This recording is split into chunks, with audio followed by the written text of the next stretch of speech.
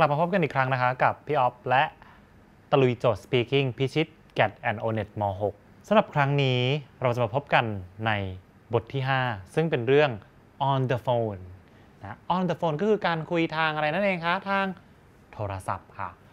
นะคะเรามาดูกันดีกว่าว่า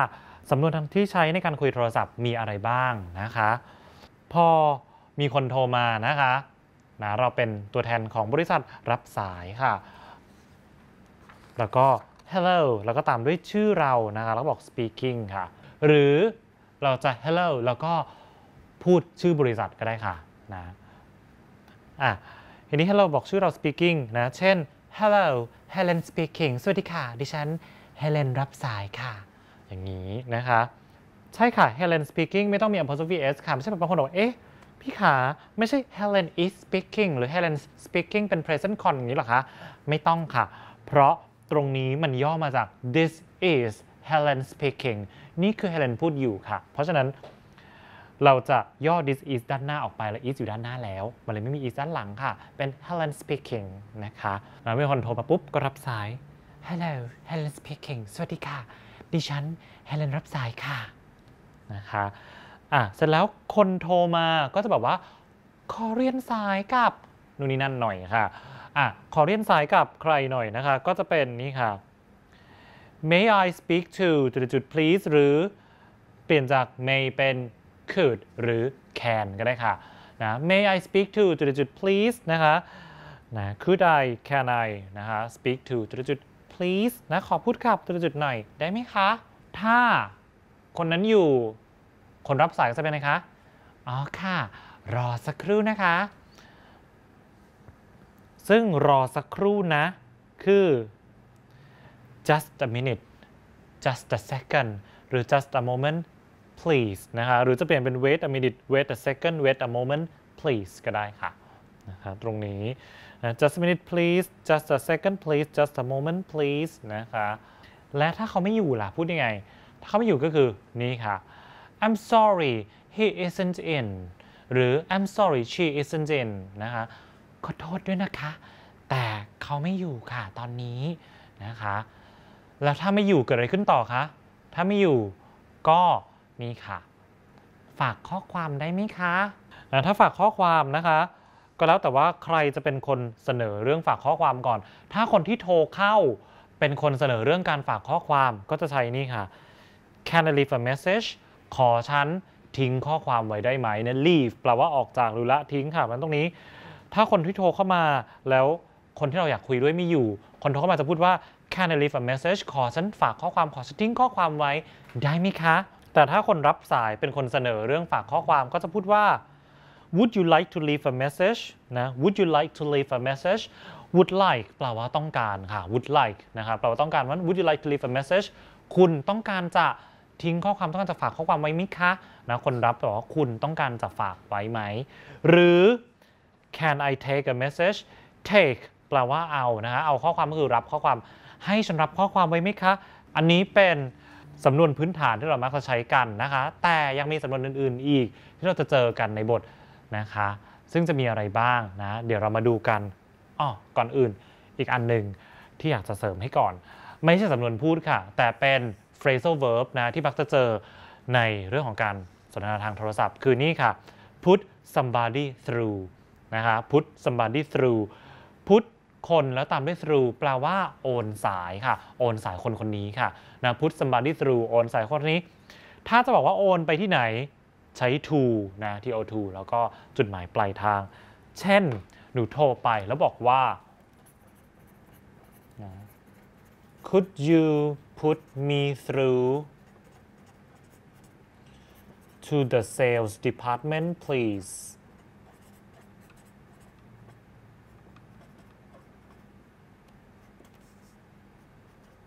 นะคุณคะ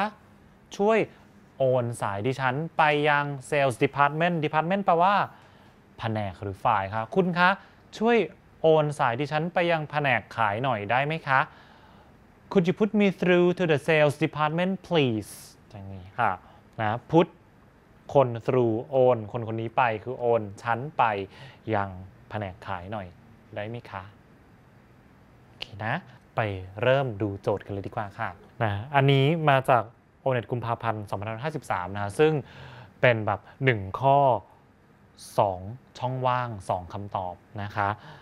ะสถานการณ์นะ A secretary is talking to a caller secretary คือใคร secretary คือเลขาค่ะ เลขานุการนะคะ เลขานุการ เลขานุการกำลังคุยกับ caller คุยกับคนที่โทรเข้ามาค่ะ นะ caller คนโทรมาบอกว่า this is Jim Smith นี่คือ Jim Smith นะ Can I speak to Mr. Johnson please ขอพูดกับ Mr. Johnson หน่อยได้ไหมคะ แล้วเลขาตอบว่ายังไงดี แล้ว caller พูดอะไรไม่รู้ค่ะ แล้วเลขาบอกว่า I'll tell him as soon as I see him ฉันจะบอกเขานะ as soon as แปลว่า ทันทีที่ทันทีที่เจอค่ะ เดี๋ยวจะบอกให้ทันทีที่เจอแสดงว่ามิสเตอร์จอห์นสันเป็นไงคะ ไม่อยู่นั่นเองค่ะนะสังเกตว่าบทสนทนาแบบนี้ยาวหน่อยก็จริงแต่หนูต้องอ่านให้เลยช่องว่างมาด้วย ซึ่งเอิญช่องว่างติดกัน 2 ข้อหนูต้องอ่านเลยมาเลยนะคะเพื่อจะดูสถานการณ์ว่าเออเป็นอย่างไรต้องพูดว่าอะไรนะคะพูดกับมิสเตอร์จอนสันหน่อยได้ไหมจุดๆอะไรไม่รู้สองคนพูดแล้วบอกว่าอะเดี๋ยวจะบอกให้ค่ะ แสดงว่าไม่อยู่ค่ะ ไม่อยู่จะบอกว่าอะไรดีคะไม่อยู่นะใน ข้อ A ตรงไหนเป็นการบอกว่าไม่อยู่คะ A 3 ค่ะ I'm afraid he's just gone out นะคะ I'm afraid he's just gone out นะคะ afraid ค่ะ นอกจากแปลว่ากลัวแล้ว แปลว่าเกรงก็ได้ค่ะอ๋อดิฉันเกรงว่า he's just gone out เขาเพิ่งจะออกไปข้างนอกนี่เองค่ะนะเกรงว่าเขาเพิ่งจะออกไปนะคะ ส่วนข้อหนึ่ง pardon me นะคะ ขอโทษนะคะ I don't know him ฉันไม่รู้จักเขาค่ะ นะไม่รู้จักอย่างนี้ก็ไม่ได้ค่ะ ข้อ 2 can you talk to him now คุณพูดกับเขาตอนนี้เลยได้ไหมคะ ก็โทรมาขอพูดด้วยก็ต้องพูดตอนนี้เลยสิคะมาถามทำไมครับพูดตอนนี้เลยได้ไหมนะแล้วข้อ 4 sorry ขอโทษนะคะ he doesn't want to speak to you ขอโทษนะคะเขาไม่อยากคุยกับคุณนะคะนะเราจะบอกให้ทีหลังเนี่ยไม่ได้ค่ะ แสดงว่าเขาไม่อยู่ค่ะ I'm afraid he's just gone out ข้อ 3 ค่ะ เป็นคำตอบนะคะอะต่อไปนะคะ เพิ่งออกไปเอง แล้วจะบอกว่าอะไรดีบอกว่าโอเค เดี๋ยวบอกให้ค่ะ แสดงว่านี้คือฝากข้อความมาเลย ไม่ได้พูดว่าขอฝากข้อความได้ไหมนะคะแต่ฝากเป็นข้อความบอกมาเลย ว่าฝากบอกอะไรค่ะ ฝากบอกอะไรดีคะโอเคค่ะ เดี๋ยวฉันบอกให้ ฝากบอกอะไรดีคะข้อ 3 ค่ะ Can you ask him to return my call คุณช่วยขอข้อหน่อยได้ไหมคะ ask เนี่ยแปลว่าถามก็ได้ แปลว่าขอก็ได้ แต่ถ้าใช้กับ to infinitive มักจะแปลว่าขอค่ะ คุณช่วยขอเขาให้เขา return my call return แปลว่า กลับหรือแปลว่าคืนก็ได้ค่ะ ซึ่งคืนการโทรก็คือโทรกลับนั่นเองค่ะ คุณช่วยบอกเขาให้เขา return my call ให้เขาโทรกลับมาหาฉันหน่อยได้ไหม หรือจะเปลี่ยนจาก return my call ตรงนี้เป็น call me back ก็ได้ค่ะ call me back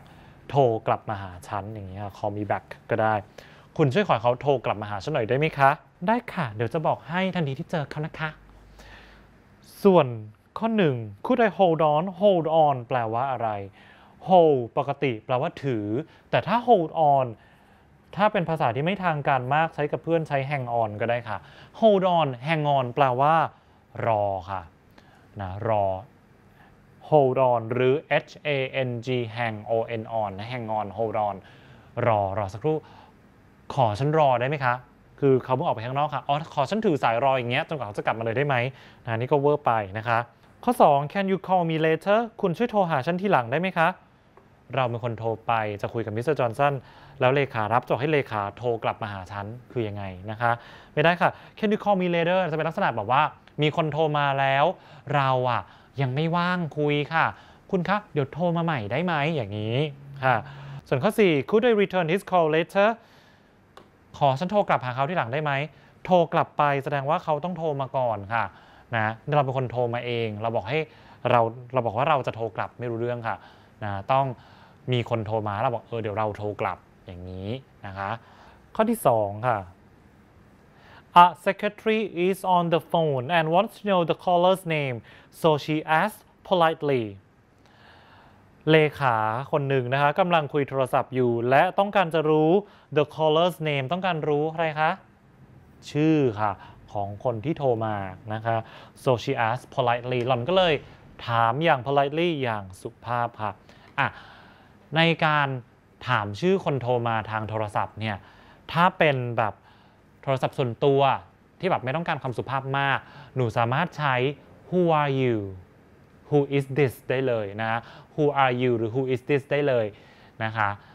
แต่ถ้าเป็นกรณีตรงนี้เป็นเลขาแสดงว่ารับโทรศัพท์ที่ไหนคะ รับที่บริษัทรับในที่ทำงานค่ะ ถ้ารับโทรศัพท์ของบริษัทนะคะ เราจะใช้ who are you แบบนี้ไม่ได้ค่ะ ถือว่าไม่สุภาพพอค่ะนะคะ ถ้าเป็นโทรศัพท์ส่วนตัว เนี่ยที่บ้านที่อะไรอย่างเงี้ยเราต้องไม่ต้องการคำสุภาพมากใช้ who are you ได้ ใช้ who is this ได้เลยนะคะนะ who are you หรือ who is this อะเพราะฉะนั้นตรงนี้เราไม่ใช้ who are you ใช้อะไรดีคะใช้นี่ค่ะ ข้อ 4 ค่ะ who's calling ถ้าจะให้ดีก็ตอบ please แบบนี้ลงไปด้วยเลย who's calling please ค่ะแปลว่า ใครโทรมาคะ please อันนี้เหมือนคะเฉยๆลงท้ายประโยคคะหรือครับนะคะ who's calling please ใครโทรมาคะหรือเปลี่ยนจาก who's calling เป็น can I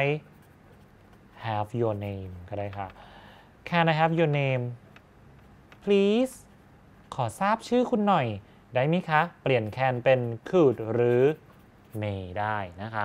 can I have your name please could have your name please may have your name please แบบนี้ได้เลยนะคะ ขอทราบชื่อหน่อยได้ไหมคะอะเนี่ยค่ะ who's calling หรือ can I have your name please นี่คือสำนวนที่ใช้ได้ในการถามชื่อคนโทรมานะในฐานะที่เป็นตัวแทนของบริษัทรับสายค่ะนะคะห้ามใช้ who are you หรือ who is this นะคะส่วนข้อหนึ่ง who do you want to call คุณอยากจะโทรหาใครคะนะคือถามว่าต้องการจะโทรมาเพื่อคุยกับใครนั่นเองนะและอันเนี้ยไม่สุภาพพอด้วยนะคะ 3 who is saying that ใครกำลังพูดอันนั้นอยู่คะเนี่ยไม่รู้เรื่องค่ะข้อนี้นะคะอะโอเคก็ข้อ 2 เป็นการถามชื่อนะคุณชื่ออะไรนะแต่ใช้กับการคุยในบริษัทนะคะตรงนี้อะจบไปต่อไปข้อที่ 3 ค่ะ you are talking on the phone คุณกำลังคุยโทรศัพท์อยู่กำลังพูดทางโทรศัพท์ but the line is not very clear แต่สายไม่เคลียร์มากค่ะ clear ตัวนี้ เป็น adjective ค่ะ แปลว่า ชัดเจนค่ะนะ clear ตรงนี้นะครับแปลว่าชัดเจนนะคะ ซึ่งบางครั้ง clear นอกจากชัดเจน แล้วแปลว่าใสใสแจ๋วก็ได้ค่ะนะชะซึ่งชัดเจนตัวนี้หมายถึงสายมันชัดฟังชัดดี หรือชัดเจนแบบเข้าใจง่ายตรงไปตรงมาชัดเจนก็ได้ค่ะนะซึ่ง clear ถ้าเป็นในความหมายที่แปลว่าชัดแบบชัดเจนเข้าใจง่ายแจ่มแจ้งเนี่ย อาจจะใช้ว่า obvious ค่ะ หรือ apparent ก็ได้นะคะ แต่ obvious apparent จะบอกว่าเสียงชัดภาพชัดไม่ได้นะ จะใช้ clear เท่านั้นนะคะ obvious apparent จะเป็นชัดเจนแบบแจ่มแจ้งเท่านั้นค่ะนะแต่ clear ได้หมดเลยจะเป็นภาพชัดเสียงชัดนะคะ หรือชัดเจนแจ่มแจ้งก็ได้ หรือแปลว่าใสก็ได้ ซึ่งเพิ่มอีกนิดนึงค่ะ clear เนี่ยใสมากๆ ใสแจ๋วเลยแจ่มแจ้งมาก ๆ เลย สามารถใช้ว่า crystal clear ได้ค่ะคริสตัลเคลียร์นะคะชัดเจนเป็นผลึกเลยค่ะนะคะตรงนี้ชัดเจนมากๆนะคะะแต่โจทย์ข้อนี้บอกว่าคุณคุยโทรศัพท์แล้วสายมันไม่ค่อยชัด มันไม่ค่อยดีเท่าไหร่ค่ะ you say คุณเลยพูดว่าอะไรคะข้อ 2 ค่ะ could you speak up a bit speak up ก็คือพูดให้ดังขึ้นหน่อยค่ะนะ speak up พูดให้ดังขึ้น could you speak up a bit คุณคะช่วยพูดดังขึ้น นิดหนึ่งได้ไหมคะ a bit หรือ a little bit ก็ได้นะ a bit หรือ a little bit นะคะช่วยพูดให้ดังกว่านี้อีกสักนิดหนึ่งได้ไหมคะ ส่วนข้อหนึ่งเนี่ยเยอะไปค่ะ shout แปลว่าตะโกนค่ะ shout out a lot more ตะโกนอีกเยอะๆเลยค่ะนะคะไม่รู้เรื่องนะคะ แล้วข้อ 3 won't you say a lot more พูดเยอะๆอีกไหมคะนะจะไม่พูดเยอะๆหน่อยหรอนะพูดเยอะๆ ถ้าไม่ชัดก็คือไม่ชัดค่ะต้องพูดให้ดังขึ้นค่ะ ส่วนข้อ 4 make a loud noise นะ noise แปลว่าอะไรเออ noise แปลว่าเสียงค่ะนะ noise แปลว่าเสียงจะเป็นเสียงอะไรก็ได้นะคะเสียงพูดเสียงของตกนะคะเสียงตบมือเสียงอะไรก็แล้วแต่เป็นเสียงหมดเลยค่ะนะคะแต่ถ้า voice นี่คือเสียงพูดหรือเสียงในการร้องเพลงค่ะ voice นะจะเป็นเสียงพูดหรือเสียงร้องเพลง แต่ noise คือเสียงอะไรก็ได้เสียงรถก็เป็นเสียง noise ค่ะอันนี้ make a loud noise ส่งเสียงดังๆ ค่ะ คือเสียงอะไรก็ได้ค่ะ ตะโกนเฮ้อะไรก็ได้ค่ะ ให้เป็นเสียงนะคะแค่นั้นเองนะคะอะซึ่งจริงๆมันไม่รู้เรื่องค่ะนั้นเป็นข้อ2ค่ะช่วยพูดดังขึ้นอีกนิดนึงได้ไหมคะอะต่อไปข้อที่ Z ค่ะ you ask to speak to your boss on the phone you say คุณ ขอพูดกับเจ้านายทางโทรศัพท์ค่ะ คุณจะพูดว่าอะไรคือหนูโทรเข้าบริษัทแล้ว ขอสายเจ้านายค่ะนะคะ boss นะคะหัวหน้าเจ้านายเออมีศัพท์เพิ่มให้อีกนิดนึงค่ะ boss เป็นนามเพราะเจ้านายหรือหัวหน้า boss เป็น verb เปล่าก็แปลว่าเป็นหัวหน้านั่นเองค่ะ ถ้า boss เป็น verb นะครับแปลว่าเป็นหัวหน้าค่ะ ส่วนใหญ่จะใช้เป็นสำนวนว่า boss around นะคะ ก็คือทำตัวเป็นหัวหน้าไปทั่วค่ะนะ ก็คือ เจ้ากี้เจ้าการนั่นเองค่ะ สั่งเขาไปทั่วค่ะ boss around นะคะ สั่งไปทั่วค่ะ เจ้ากี้เจ้าการนะคะ